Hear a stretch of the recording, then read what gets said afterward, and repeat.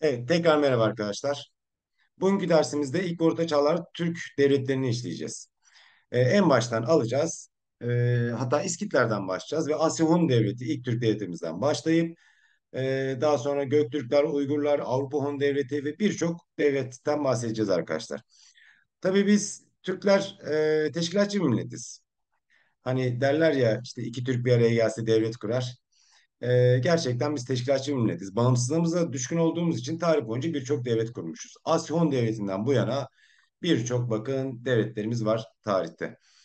Şimdi e, şu slaytı da büyütelim. Tamam. Evet, İskitlerle başlayalım arkadaşlar. Kalemimi de alayım. İskitlerle başlayalım.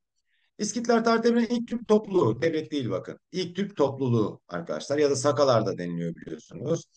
Ee, iki tane önemli destanımız var. Alpertunga ve şu destanlarımız vardı. Alpertunga destanında İran'la yapılan savaşları anlatıyor. Şu destanında ise Büyük İskender'le yapılan savaşları anlatıyordu.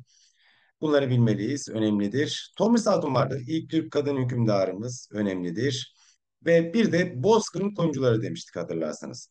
Önemlidir yine Bozkır'ın kuyumcuları olarak bilinirler. Tabii ki bu bize onların madencilik alanında oldukça gelişmiş olduğunu gösteriyor. Tamam bu kadar. İskitler, Sakalar dediğimiz bu kadar arkadaşlar. Ve gelelim tarihte bilinen ilk Türk devletimiz Asya Hun Devleti. Arkadaşlar gördüğünüz gibi haritada Orta Asya'da kurulan e, bir devlet. Başkentimiz neresi? Ötüken arkadaşlar. Kutsal başkent. Unutmayın mutlaka sorarlar. Şıklara Kaşgar'ı koyar. İşte e, başka yerleri koyar Orta Asya'daki. Ama kutsal başkent Ötüken. Unutmuyoruz. Şimdi Asyon Devleti tarihte bilinen ilk Türk devleti Hun halk demek. Bunu da bilelim. Başkentimiz Ötüken. Kutsal başkent olarak bilinir ve onun yazıtlarında e, Ötüken'in e, terk ederse eğer Türklerin yok olacağından bahseder. İşte zaten bilgide de size böyle soracaklar. İşte kutsal başkent diyecek. Orhun yazıtlarında terk edilirse Türklerin yok olacağını bahseden e, bahsedilen başkent neresidir? Ötüken unutmuyoruz. Ve kurucumuz Teoman bunların bilinen ilk hükümdarıdır. Şanyu ve Tanhu ünvanları alarak tahta çıkmıştır. Arkadaşlar Şanyu ve Tanhu daha sonra ilk Türk e, Türklerin hükümdarlık ünvanlarını anlatırken söyleyeceğim. Han, Hakan, Kaan, İdikut, İlteber, Tanyu, Şanyu. Bakın bunlara dikkat edin. İslamiyet öncesindeki Türk hükümdarlık ünvanlarıdır. Yani bu sadece Teoman'a da özgü değil aslında. Yani ben buraya parantez içinde yazdım böyle Şanyu, Tanhu diye ama yani bu e, başka Türk hükümdarları da kullanmış olabilir. E, zaten size genel olarak soracak. Diyecek ki aşağıdakilerden hangisi İslamiyet'ten önceki Türk hükümdarlarının kullandığı ünvanlardan biri değildir. Hani Teoman'ı sormayacaksınız zaten. Şanyu, Tanyu, İlikut, İlteber, işte Han, Hakan, Kaan. Mesela sultan var mı? Yok tabii ki. Padişah var mı? Yok. İslamiyet'ten öncedeyiz. Devam ediyorum. Çin Seddi bu dönemde tabii ki Türk akınlarından korunmak için yapılmış. Ve e, şimdi arkadaşlar Teoman döneminde e, Çin'le mücadele var ama Çin'e tam olarak üstünlük kurulamıyor. E, Çin'e tam olarak üstünlük kurulamamış. Ve bir de tabii ki unutmadan şunu söyleyelim. Biz Çin'le neden mücadele ediyoruz bu kadar? Arkadaşlar temel nokta neydi? Hatırlayacaksınız. Temel noktamız Çin'den gelen önemli bir ticaret yolumuz var. İpek yolu arkadaşlar. Ee, Hazar Denizi'nin bir güneyinden bir de kuzeyinden Anadolu'dan, Bursa'dan da geçiyor hatta. Bakın burası İpek yolu. Çok önemli. İpek yolunu hakim olan devlet zenginleşiyor, güçleniyor. İpek yolunu kaybeden devlet yıkılıyor arkadaşlar. İpek yolu ticareti çok çok önemlidir. Savaşlarımızın temel sebebini sorarsa cevabımız bu olacak. Tabii ki başka sıkıntılar da var. Yani Orta Asya'ya hakim olma düşüncesi var. Çin'in tabii ki. Orta Asya'yı ele geçirmek, sınırlarını genişletmek, siyasi bir mücadele. Tabii ki bunlar da var. E zaman zaman e, biz de Çin'i ele geçirmek istiyoruz. Onların yerleşik hayatı bizi cezbediyor. Biz göçebeyiz, hayvancılıkla uğraşıyoruz. Ve onlar yerleşik, daha rahatlar. Bizim hayatımız daha zor. Dolayısıyla biz de bazen Çin kaynaklarında anlatıyor arkadaşlar birinci el kaynaklarda. Saldırıyoruz, alıp kaçıyoruz mesela. Ee, bu sınırda ortak pazarlar kuruluyor ve oralar çok yoğun akımlar yapıyoruz. E adamlar ne yapsın? Çin yapıyorlar tabii ki buraya. Ve savaşların temel sebebi İpek yolu dedik. Sonra Teoman'dan sonra arkadaşlar e, yerine oğlu Mete gelecek. Mete Han tabii çok önemli bizim için. e, babasını tahttan indirecek, öldürecek hatta babasını biliyorsunuz. Orada hikaye var ama geçiyorum hikayesini. Hatırlarsanız işte oğlu Metehan'ı e, bir Moğol kabilesi olan Yüeçilere mi, CNP'lere mi, e, Yüeçilereydi galiba e, ya da CNP'ler rehin olarak verecek. Sonra Metehan oradan kurtulup gelecek. Sonra bir av partisi sırasında babasını öldürerek tahta çıkacak. Ama Metehan çok parlak bir dönem. Ve Metehan arkadaşlar Orta Asya'da Türk boylarını bir bayrak altında toplayan e, kişidir. 26 tane Türk boyunu birleştirmiş Orta Asya'da. Ve kendi ağzından bakın şöyle diyor Metehan kendi ifadesiyle. E, şuradan kalemimi.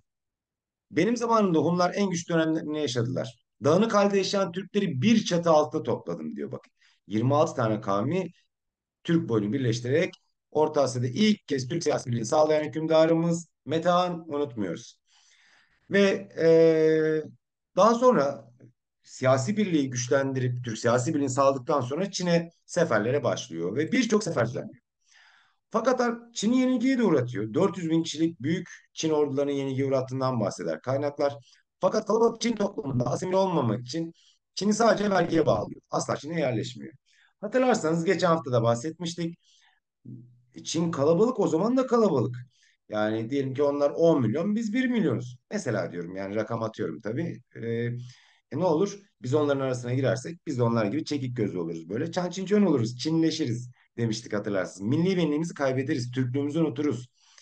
Ee, ve Çin'in amacı da buydu zaten. Ama burada Metehan çok akıllı bir siyaset izliyor. Çin'i yenmesine rağmen, üstünlüğü sağlamasına rağmen asla Türklerin buraya yerleşmesine izin vermeyecek. Sebep ne? Asimile olmak, olmamak, milli benliğimizi kaybetmeyelim, Türklüğümüzü unutmayalım. Bakın biz yaklaşık 7 bin yıllık köklü bir kültürümüz var. Hala unutmadık değil mi? Hala bakın milli benliğimiz, hala Türkçe konuşuyoruz. Ee, Birçok Türk örf, adet, gelenek, göreneklerimiz devam ediyor. Ve Çin'i vergiye bağlıyor. Tabii Çin'i vergiye bağlaması da neydi arkadaşlar? Siyasi üstünlük göstergesi. Bir geçen gün bana bir soru sormuştu bir arkadaşınız. Sanırım e, biriniz bir soru sormuştu. Bilgiyi vermiş Çin'i vergiye bağladı diye. Ve işte e, şimdi vergiye bağlaması siyasi mi, askeri mi, ekonomik mi? Tabii ki arkadaşlar e, ekonomik bir gelir geliyor. Yani vergi para geliyor. E, veya sadece para almıyoruz arkadaşlar. Yani onlardan ipek mesela diyor ki işte e, hayvan alıyoruz ya da vergi olarak ya da ipekli kumaşlar alıyoruz ya da tahıl hububat ürünleri mesela işte bilmem kaç çuval kaç ton buğday pirinç bunları da vergi olarak alıyoruz. Ee, yalnız bir devletin bir devleti vergiye bağlaması o devlet üzerine askeri üstünlük kurduğunu gösterir bak. Çünkü yenmişsin onu yani askeri olarak yenmişsin ki vergiye bağlamışsın. Bu askeri üstünlüktür. Ve siyasi üstünlük de diyebiliriz bakın. Bir devlet bir devleti vergiye bağlıysa siyasi ve askeri üstünlüğü sağladığını gösterir. Buna da dikkat edelim lütfen. Ve tabii ki Metehan'da ilk Türk düzenli ordusu arkadaşlar. İlk düzenli ordu. Milattan önce 209. Bakın Türk Silahlı Kuvvetlerimizin ambleminde milattan önce 209 yazıyor dikkat ederseniz. Ee, bu tarihte bilinen ilk düzenli ordudur.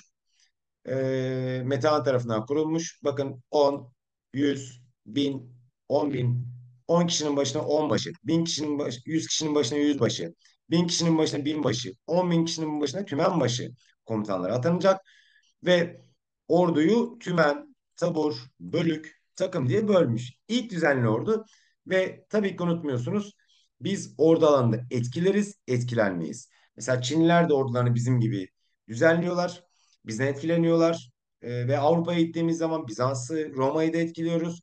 Yani ordu alanında etkileriz, etkilenmeyiz. Sebep çünkü en gelişmiş özelliğimiz bu. Ve tabii ki Tuna taktiği geliştirilmiş falan. Ee, bunları zaten daha önce de konuşmuştuk. Devam edelim. Şimdi Meta'nın kendi ifadesiyle bakın bazen sınavlarda böyle soracaklar. Bilgiyi verecek. Diyecek ki Metan şöyle diyor, böyle diyor, hangisine ulaşır? Ne demişti? Benim zamanımda onlar en güçlü dönemlerini yaşadılar. Dağınık halde yaşayan Türkleri bir çatı altına topladım. Orduda ilk defa onlu sistemi ben kurdum. Ve ordumu bu sisteme göre oluşturdum. Bu sisteme göre en büyük askeri birlik 10 bin kişiden oluşan tümendi. Ee, işte tümenleri 10, 100 ve 1000 kişiden oluşan birlikler ayırdım. Bilinen düzenli ordu dedik. Ve başka devletlere de örnek oldum. Gördün mü? İpek yolunun denetimini ele geçirdim. Ee, Hun ekonomisini güçlendirdim. Ancak Çin'i vergiye bağladım. Ancak kalabalık Çin nüfusu içinde Türklerin milli kültürlerini kaybederek yok olmalarını önlemek amacıyla bu topraklara Türkleri yerleştirmedi. Dikkat ediyoruz tamam mı? Ve sonra ne oldu? Metehan'dan sonra arkadaşlar Metehan'dan sonra ne oldu? Onun yerine tahta geçen hükümdarlar, işte oğlu Kiok geliyor, başka hükümdarlar geliyor. Çinli prenseslerle evlenme geleneği başlayacak. Ve e, Asyon Devleti maalesef Çinlerin etkisi siyasi oyunlarıyla e, sarsılıyor. Çinli prensesler bunlar 007 James Bond biliyorsunuz. Ajanlık faaliyetleri yapıyorlar değil mi Çinli prensesler? Ne yapıyorlardı? Bizi kardeşi kardeşe böldürüyorlar. Bizi zenginliğe, lükse, ipeğe alıştırıyorlar. Tabii bu ipek dediğimiz şey böyle uyuşturucu bir şey değil yani ama rahata alıştırıyorlar yani onu demek istiyorum. Bizim savaşçılık özelliğimizin yitirilmesi için eee rahata alıştırıyorlar, zenginliğe alıştırıyorlar. Ve sonraki süreçte de arkadaşlar maalesef boylar arası mücadele, halkın itaatsizliği, yeteneksiz yöneticiler var. İkili sistem, yeni sınavlar çok çıkıyor. Türk devletinin yıkılmasının en temel sebeplerinden birisidir. Ve tabii ki taht kavgaları. Gibi sebepler yüzünden önce ikiye ayrılacak, sonra da yıkılacak. Ee, bu burada bahsettiğim bakın Türk devletlerinin yıkılmasının temel sebepleridir. Hatta geçenlerde yine bana birisi sormuştu. Ee, bir soru vardı. İşte halk isyanları falan diyordu. Bakın halkın itaatsizliği, boyların isyanları bunlar Türk devletlerinin yıkılmalı sebepleri arasındadır zaman zaman. Ama tabii ki her devlette halkın isyanı çıkacak diye de bir şey yok. Yani yönetim güzelse, ekonomi güçlüyse halk niye isyan etsin? Ama bazen mesela Kapkan Kapkan Kağan vardır çok e, sert tutumlu bir hükümdar ve bir e, Bayırkuların bir isyanında suikastla öldürülüyor. Veya Kapkan Kağan döneminde boylar sık sık isyan ediyorlar. E çünkü sert e, yönetiyor. E bazen beceriksiz yöneticiler var. E, ülkeyi güzel yönetemiyor. Dolayısıyla o zaman halk isyan ediyor, boylar isyan ediyor. Hatta daha da ilerisinde Kurultay o Hakan'ı görevden bile alabilir. Ki tarihte bunun örnekleri var. Kurultay'da da anlatacağız. Ve şimdi Kuzey ve Güney Hunlar olarak ikiye ayrılacak. Asya Hun devletimiz. Kuzey Hunları Siyenpiler tarafından yıkılmış. Güney Hunlar Çin tarafından yıkılmış. Şimdi gelelim çok önemli bir olay. Kavimler göçü arkadaşlar. Bakın Kuzey Hunların yıkılmasından sonra bölgedeki Türk boyları batıya göç ederek kavimler göçünü başlatmıştır. Belki bunu da sorarlar bakın. Bilgiyi verir e, ve der ki işte kavimler göçünün başlamasında etkili olan devleti sorar. Bakın şuralarını verir. Yani bunları ezberlerinize gerek yok ama şöyle bir bilgi verir. Der ki işte şöyle e, belki Metehan'ın falan da ismini verir. E, şöyle oldu böyle oldu. Devlet ikiye ayrıldı. Sonra Çin tarafından işte yıkıldı. Ve sonra der ki işte Kuzey e, sonra da der ki işte hangi devletin yıkılmasından sonra bölgedeki Türk boyları batıya doğru göç ederek kavimler göçünü başlatan devlet kimmiş? Asya Hun Devleti ya da Büyük Hun Devleti unutmuyoruz. Mesela şıkları Avrupa Hun Devleti'ni de koyar. Olmaz. Daha Avrupa Hun Devleti yok. Biraz sonra. Şimdi Avrupa'ya gideceğiz. Avrupa'da bir Hun Devleti daha kuracağız. Demek ki Hunlar hem Asya'da hem Avrupa'da devlet kuracak. Yine bakın bir metanın sözü. Ok ve yay gelebilen kavimleri bir aile gibi birleştirdim. Şimdi onlar Hun oldular diyor. Ee, şimdi burada da anlatıyor bakın. Şimdi bundan sonra ne oldu? Asya Hun Devleti ikiye ayrıldıktan sonra iki tane yakışıklı kardeşimiz var. Hoanye ve Çiçi. Ee, şimdi Metehan'dan sonraki dönemde arkadaşlar Hun hükümdarları evet Çinli prenseslerle yaptığı evlilikler var. Tabii bunlar siyasi evlilik bu arada arkadaşlar. Yani ilişkilerimizi iyileştirmek, e, ticari, ekonomik, siyasi ilişkiler iyi olsun, akrabalık bağı kurarak. Sonra dedik Çinli diplomat ve ajanların entrikalarından bahsettik. Devleti zayıfladı dedik. Sonra Çinliler ne yapmışlar? Bakın orduları Hun sistemine göre eğitmişler. Gördünüz mü? Birlikte iç ve dış baskılara dayanamayan Hoanye. Şimdi Hoanye ve Çiçi Hun devletinin işte biri e, bir tarafında biri bir tarafında. Biri doğuda biri batıda biliyorsunuz. Hani bizde ikili sistem vardır. Anlatacağım sonra da. Ve e, tabii bu ikili sistemde arkadaşlar maalesef sıkıntılar yaşanıyor. Kardeşler arasında anlaşmazlıklar yaşanabiliyor. Mesela bunun örneklerinden bir tanesi Hoanye ile Çiçi. Arkadaşlar e, tabii devlet zayıflamış ve Hoanye diyor ki nasıl olacak diyor. Nasıl mücadele edeceğiz bu Çin'e karşı? Binlerce orduları var, kalabalık. Çiçeğe diyor ki Çiçe abi diyor gel diyor.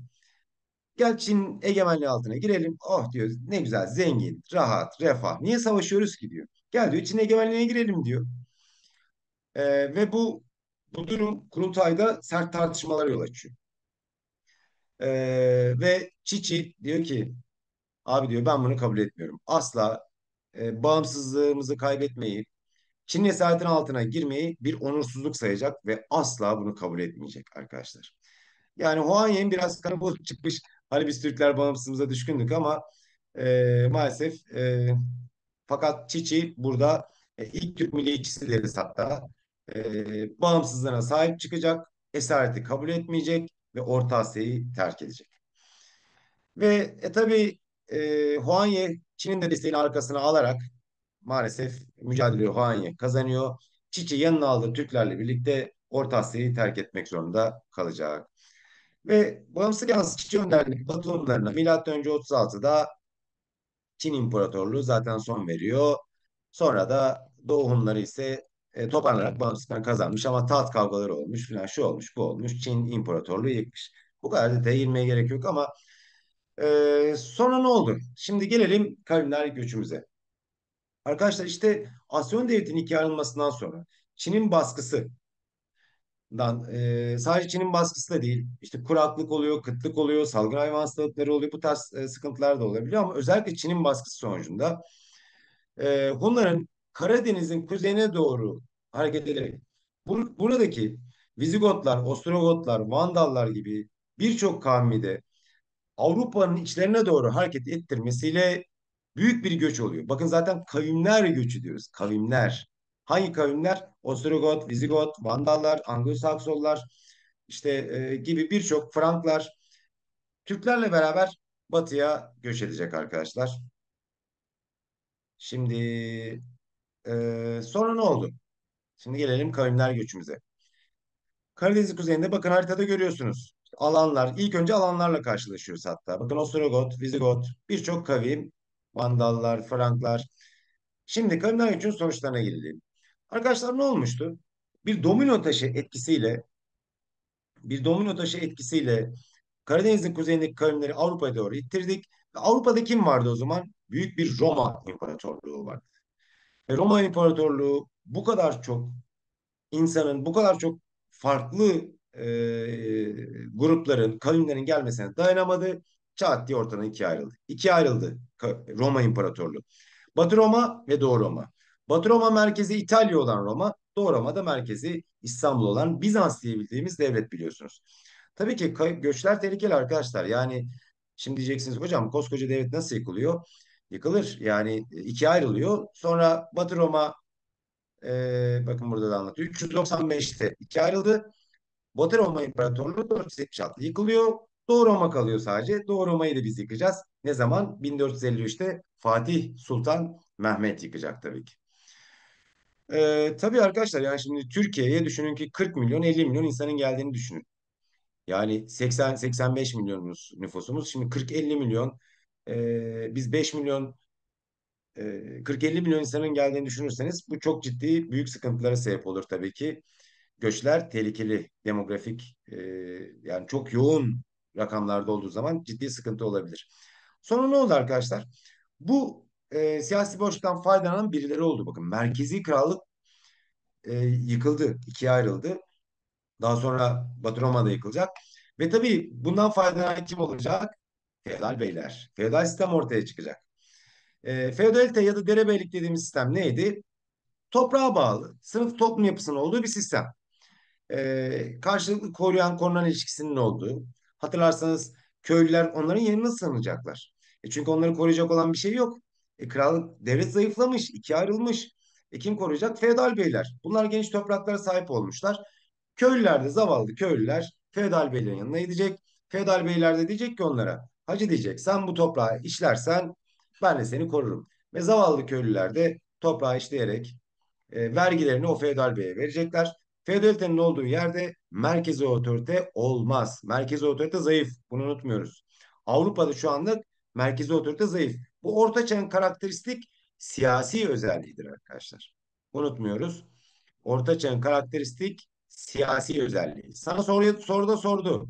Dedi ki aşağıdakilerden hangisi? Kavimler göçünü çok sorarlar bakın çok önemlidir. İşte dedi ki bir tarihçi Serkan Hoca kavimler göçü, kavimler göçü Avrupa'nın siyasi yapısını değiştirmiştir diye sordu. Aşağıdakilerden hangisidir? Bak buradakilerin hepsini verir ama siyasi yapısı nasıl değişti? Feodalite ortaya çıktı. Peki Orta Çağ'ın karakteristik bir de dini özelliği var. Bu siyasi boşluktan faydalanan bir de arkadaşlar kim oldu? Papa, kilise olacak. Yani skolastik düşünce ortaya çıkıyor arkadaşlar.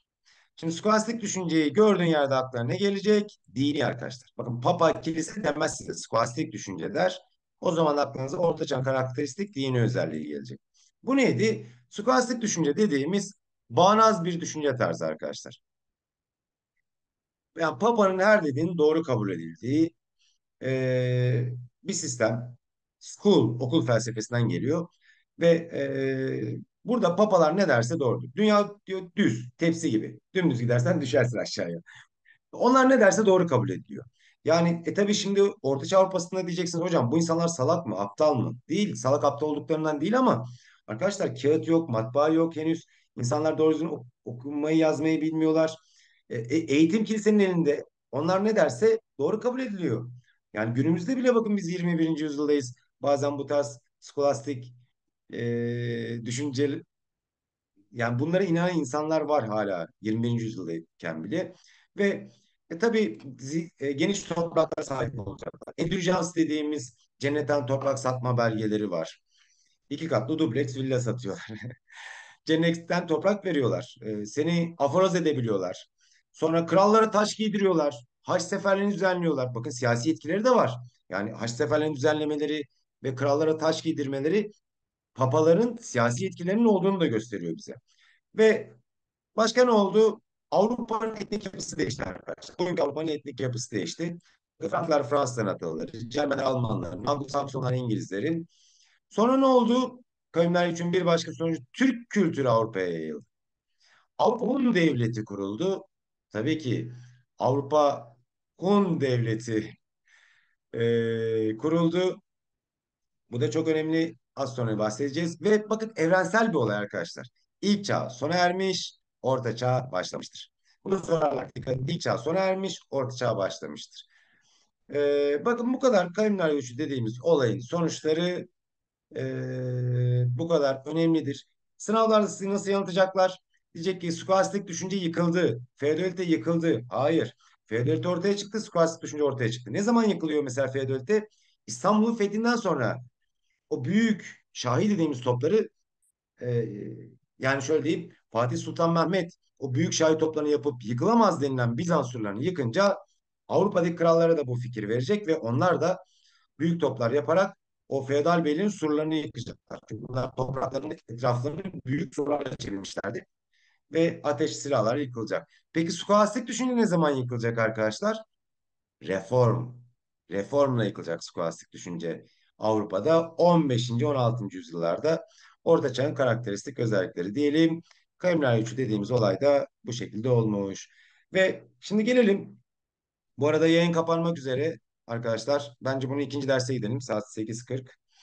Ee, Avrupa Hun Devleti'ni işleyeceğiz. Atilla Tanrı'nın kırbacı. Ee, çok önemli sınavlarda çıkma ihtimali çok yüksek. Pardon 10 dakika var daha pardon. Da var var devam ediyoruz devam ediyoruz. Ee, evet evet tamam. Şimdi gelelim Avrupa Hun Devletimize. Neredeyiz? Avrupa'dayız arkadaşlar. Kurulduğu yer Macaristan. Kurucusu Balamir. Dikkat. Bakın Atilla değil ha kurucusu. Hep Avrupa Devleti aklımıza Atilla geliyor. Atilla en parlak. Hanım Kırbacı. Nibelungen Bulgaristan'da hepsi olarak geçer. Önemlidir. Mutlaka sorma ihtimali vardır.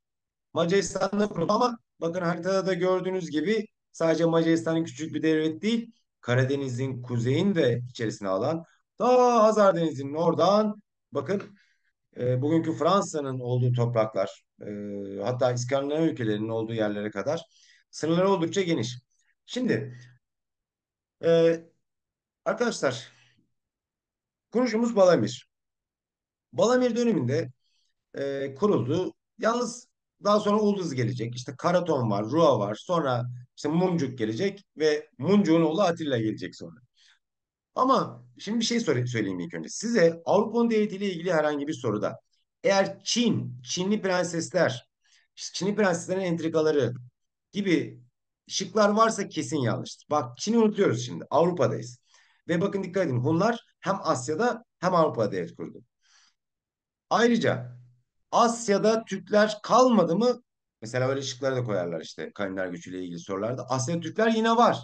Bakın Asya'da Türkler yine var arkadaşlar. Orada başka devletlerde kurulacaklar. Hatta biz ne demiştik? Türk göçlerinin sonuçlarından bir tanesi de biz Türkler dünyanın birçok yerine göç ettiğimiz için Türk tarihini bir bütün olarak incelememiz zor. Orada aynı anda devlet, orada devlet, burada devlet. Orta Asya'da yine Türkler var. Onlar da devlet kuracaklar orada. Ee, hatta daha da ileride 500 yıllarda Göktürkler kurulacak. İşte Avarlar kuruluyor ilk önce. Sonra Göktürkler. Bir sürü Türk işler. Ee, şimdi dediğim gibi Çin'i unutuyoruz. İpek yolunu unutuyoruz. Ee, Çin'in prenslerinin intikamını unutuyoruz. Avrupa'dayız. Peki şimdi düşmanımız kim? Şimdi kimle siyasi mücadele halindeyiz? Tabii ki Roma ve Doğu Roma. Şimdi iki devletin mücadele halinde olacağız. Batı Roma, Doğu Roma. Ve bu arada şunu da unutmayalım. Avrupa'nın devleti çok uluslu bir devlet. Sadece Türklerden oluşmuyor. Bu alanlar işte Slavlar var bu devletin içerisinde. Ostrogotu var, Vizigotu var, Frankı var. Çok uluslu. Çok zor böyle bir devlet yıkılmak, e, yönetmek ki yıkılış sebeplerinden birisi de çok uluslu olması olacak. Tabii Doğu Roma İmparatorluğu Bizans arkadaşlar. Doğu Roma İmparatorluğu aslında orijinal ismi Doğu Roma. Yani Bizans ismi sonradan e,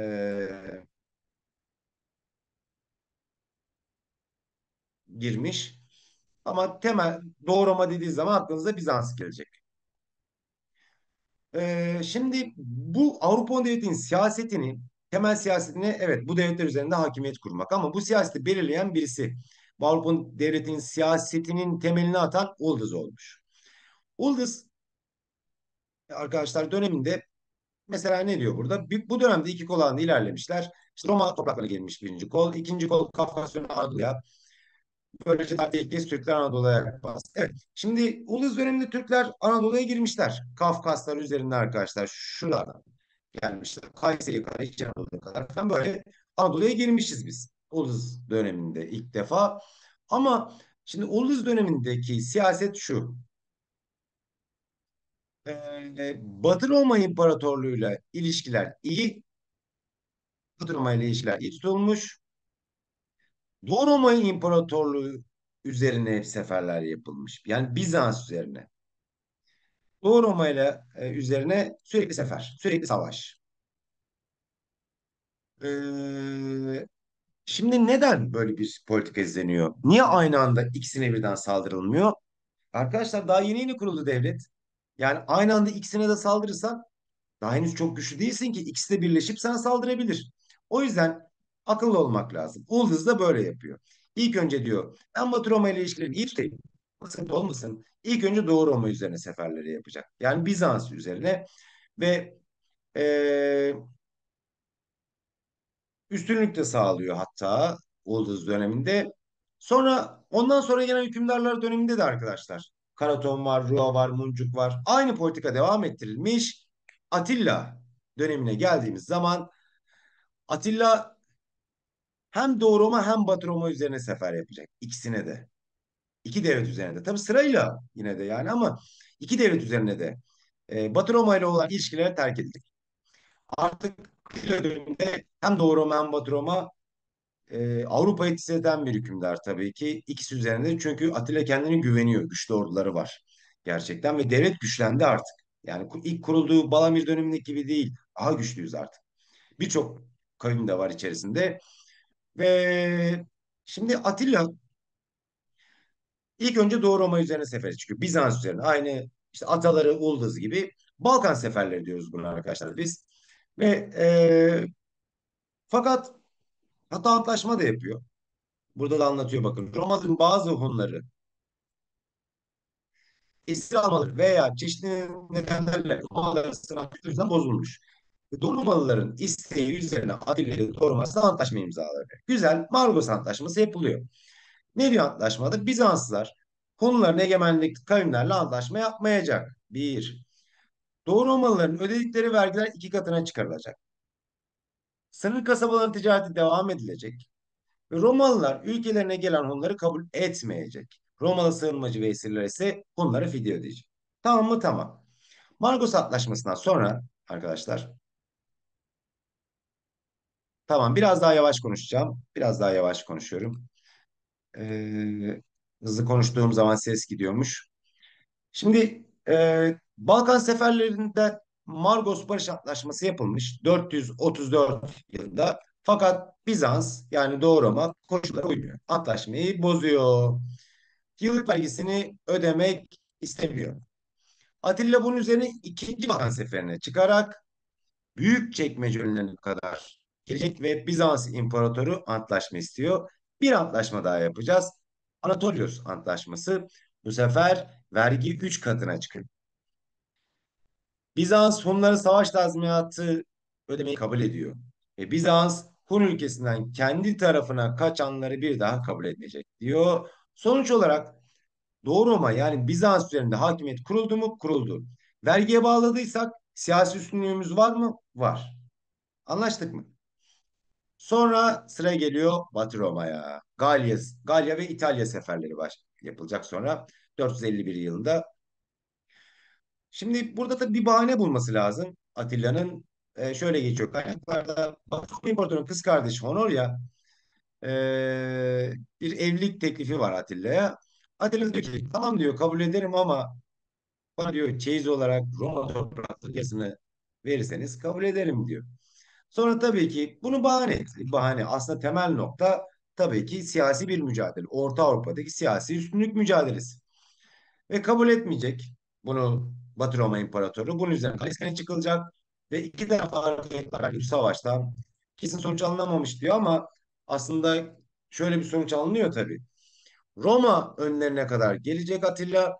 Roma önlerine kadar geldiği sırada önüne Papa çıkacak ve Papa aman dileyecek.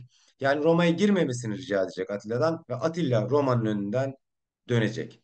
Roma'ya niye girmedi? Yani bunun sebepler arasında e, vergiye bağlıyor. Artık siyasi üstünlüğünü sağlıyor. E, zaten ben de üstünlüğümü sağladım. Sonra e, Türklerin buraya yerleşmesini istemiyor aslında. Asimile oluruz diye. Sonra e, Sasaniler var. Sasanilerle sıkıntıların olduğu bir süreç. E, Sasanilerden saldırı gelebilir. Bu yüzden de döndüğü söyleniyor. E, bu gibi sebepler yüzünden e, Roma önlerinden dönmüş. Yani aslında e, Atilla'nın buradan dönmesinin temel sebebi dediğim gibi vergiye bağladım zaten. Siyasi üstünlüğümü sağladım diyor. Ve sonra da zaten e, Atilla Roma seferi sonrasında yaşamını kaybediyor. Evlendiği tahmin ediliyor. Evlendiği gece ve e, sonra oğulları İlek, Dengizek ve İrnek geçecek. Ama Atilla'dan sonra devlet maalesef dağılma sürecine giriyor arkadaşlar. E, oğulları İlek, Dengizek ve İrnek döneminde e, devlet yönetilemeyecek ve e, tabii Bizans saldırıları, Batı Roma saldırıları, diğer kavimlerin isyanları var. İşte Frankların filan özellikle ve devlet yıkılıyor. Yıkılmasının temel sebeplerinden birisi de çok uluslu olduğunu söyleyebiliriz. Avrupa Hun Devletimizin temel özellikleri de böyle. Atilla Tanrı'nın kırbacı unutmuyoruz arkadaşlar. Nibelungen Destanı Etzel olarak geçiyor. Unutmuyoruz. Ee, Allah bizim cezamızı verdi demişler. Tanrı bizim cezamızı verdi. Ee, Tanrı'nın bir cezası olarak onlara gönderildiğini düşünüyorlar. Ve bunları unutmayalım diyelim. İkinci ders devam ederiz. Ee, vaktimiz bitti herhalde. Hadi ikinci derste görüşmek üzere arkadaşlar.